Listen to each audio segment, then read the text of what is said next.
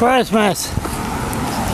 Merry Christmas. The sign supposed to say Happy Holidays, but I believe in Merry Christmas. So, Victory Meat Market, they asked for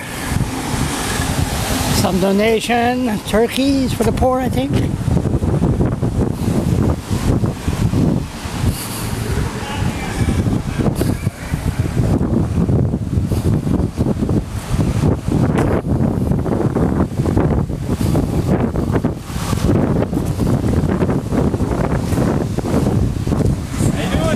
Good. Morning, Charles. How you doing? Good, how are you? Good. What's going on here?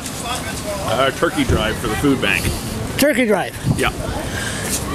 Just bring a turkey and Yeah, you just make a donation inside or in the boot, and uh, $20 buys you a turkey uh, to donate to the food bank. So we're trying to, uh, we call it fill the fire truck. We're hoping to fill the back of the fire truck and deliver as many turkeys as we can to the food bank. Whoa. Okay, filled that up. How many so far? Uh, hard to tell. We got probably 15 or so, but they're also donating inside. So uh, at the end of the day, we'll just tally it all up and, uh, and load the truck. So when I post this on my blog in about 10 minutes, there'll be about 15,000 uh, turkeys that people are going to run over, right? Good stuff. Especially the cops. They're going to come here and run here. I had to ruin it. Oh, okay. Victory Meat Market till what time? 4 o'clock? Yeah, 10 till 4. There'll be a barbecue from 12 to 1.